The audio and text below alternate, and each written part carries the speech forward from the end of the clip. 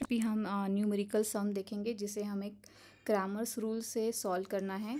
इस क्वेश्चन में हमें थ्री लीनियर इक्वेशन दी हुई है वन टू एंड ये थ्री और तीनों इक्वेशन में जो है तीन variable x y z x y z और एक्स वाई जेड ओके तो इसको हमें इस इस क्वेश्चन में हमें एक्स वाई और जेड ये जो तीन वेरिएबल है, इनकी, इनके वैल्यूज़ निकालने हैं बाय यूजिंग क्रामर्स रूल ठीक है? तो क्रैमर्स रूल्स को हम कैसे यूज़ करते हैं? डिटर्मिनेंट की प्रॉपर्टी को यूज़ करके हम सॉल्व करते हैं लीनियर इक्वेशंस को।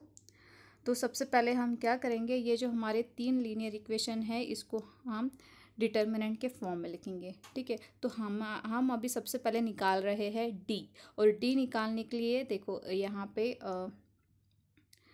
एक्स है एक्स के साथ कुछ नहीं मतलब एक्स का कोफिशेंट क्या है? वन टू का कोएफिशिएंट वाई का कोएफिशिएंट है टू जेड का कोएफिशिएंट है थ्री एक्स का कोएफिशिएंट है टू वाई का कोएफिशिएंट है फोर एंड जेड का कोएफिशिएंट यहाँ कोई न्यूमेरिकल टर्म नहीं है मीन्स वन है। वैसे ही थ्री है यहाँ कोएफिशिएंट एक्स का टू कोएफिशिएंट ऑफ़ वाई है और जो नाइन है वो कोएफिशिएंट ऑफ़ जेड है ठीक है? और ये जो टर्म्स है ये कांस्टेंट टर्म्स है।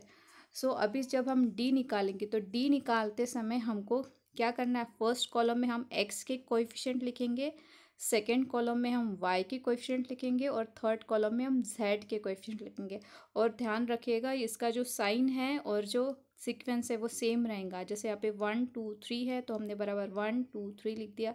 Two four two two four two three one nine and three one nine okay इसके पहले हम कई बार डिटर्मिनेंट निकाल चुके हैं। एक बार मैं फिर से आपको बता देती हूँ कि डिटर्मिनेंट हमको यहाँ कैसे निकालना है। फ़र्स्ट एलिमेंट लिख देंगे वन ये प्लस इस कॉलम और उस रो को एलिमिनेट करके जो बचे हुए एलिमेंट है उसको जैसे का वैसे लिख देंगे। फिर हम माइनस लिख के सेकेंड एलिमेंट लेंगे। सेकेंड एलिमेंट लेंगे रो का। ओके okay, और फिर उस रो और उस कॉलम को छोड़ के जो बचे हुए एलिमेंट है वो लिख देंगे two three and one nine जिस ऑर्डर में वो लिखे हुए हैं उसी ऑर्डर में हमको लिखना है। फिर हम लिखेंगे प्लस थ्री करके उस रो और उस कॉलम को छोड़ के बचे हुए एलिमेंट हमने लिख दिए है। ओके, आगे हम क्या करेंगे? क्रॉस मल्टीप्लिकेशन करके सॉल्व करेंगे।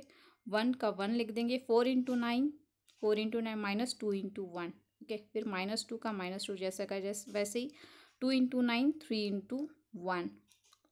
Plus plus three, two into two, minus three into four.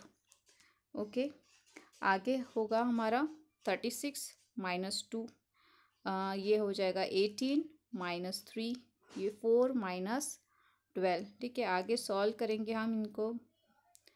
Thirty four आ जाएगा, यहाँ पे फिफ्टीन यहाँ माइनस एट माइनस एट क्यों आ रहा? है क्योंकि जो ट्वेल्व है, ये ग्रेटर वैल्यू है फोर से और इसका साइन जो है माइनस है, इसलिए यहाँ पे बचेगा माइनस एट सो यहाँ पे थर्टी फोर बचेगा।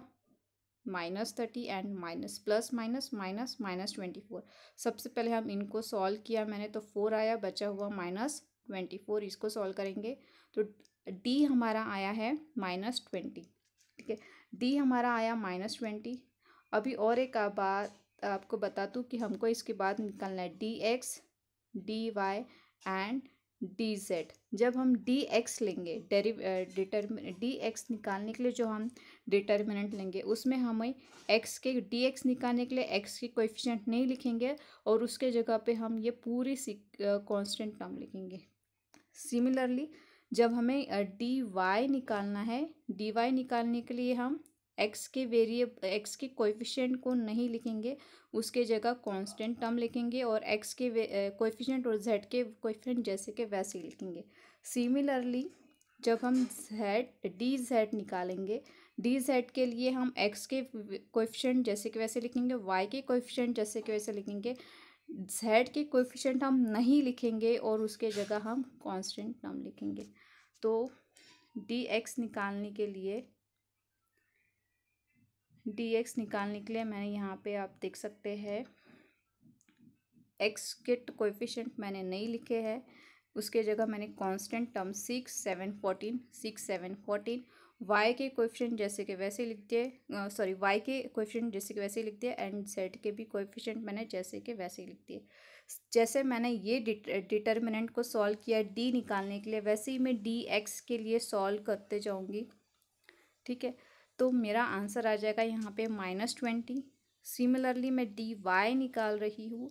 डी वाई के लिए क्या यहाँ पे मैंने वाई के कोएफिशिएंट नहीं लिखते हुए कांस्टेंट टर्म लिखी, जिस ऑर्डर में वो लिखी थी डिटर्मिनेंट इन, इसके डिटर्मिनेंट की मैं वैल्यू निकालती हूँ तो इसके भी डिटर्मिनेंट की वैल्यू मेरे पास आ गई है ट्वेंटी सिमिलरली डी जेड को मैंने सॉल्व किया है। डी जेड को मैंने एक्स की वेरी कोएफिशिएंट जैसे कि वैसे लिखे वाई की कोएफिशिएंट जैसे कि वैसे लिखे, लेकिन जेड के कोएफिशिएंट की जगह मैंने कांस्टेंट टर्म लिख दी। ठीक है? तो डी जेड की भी वैल्यू मेरी आई है माइनस ट्वेंटी ठीक है? सो तो मेरे पास अभी जो वे जो वैल्यूज़ चाहिए थी मुझे वेरी एक वेरिएबल्स की वैल्यू निकालने के लिए वो आ गई D D X D Y and D Z अभी जो मेरा एक्स वेरिएबल है एक्स वेरिएबल निकालने के लिए मेरा फॉर्मूला है D X upon D D X भी मेरा माइनस ट्वेंटी है और डी वाई भी मेरा माइनस ट्वेंटी है।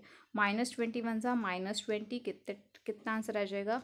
वन मतलब एक्स की वैल्यू कितनी आई है? वन सिमिलरली वाई का फॉर्मूला क्या, निकालने के लिए क्या रहेगा? डी वाई बाई डी वो भी minus twenty minus twenty cancel out होके बचेगा ओनली वन जेड निकालने के लिए भी सेम फॉर्मूला है d z upon d same था कैंसिल आउट होके हमारे पास बचेगा ओनली वन मतलब d z x y z की हमारी वैल्यू कितनी आई है? वन ठीक है?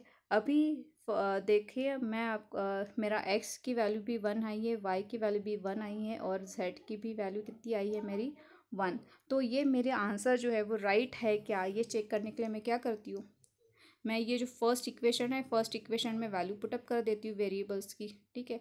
एक्स की वैल्यू मेरी वन थी वाई की भी वैल्यू मेरी वन है प्लस जेड की भी वैल्यू है मेरी वन इसे मैं सॉल्व करूँगी तो क्या बचेगा यहाँ पे one two into one two plus three into one three तो इनको मैं प्लस करूँगी one plus two three three plus three six. तो देखो मेरा क्या आंसर आ गया सिक्स। सिमिलरली मैं इस इक्वेशन में भी वैल्यू पुटअप करूँगी तो मेरा आंसर आ जाएगा सेवन। इस इक्वेशन भी मैं एक्स वाई जेड की वैल्यू पुट करूँगी तो मेरा आंसर आ जाएगा फोर्टीन। तो मेरा जो आंसर आया है x y z is equals to one ये क्या है? राइट uh, right है। क्योंकि इस इस इक्वेशन में जब मैं वैल्यू पुट कर रही हूँ इसकी तो मेरा आंसर क्या आया? एक्स। Thank you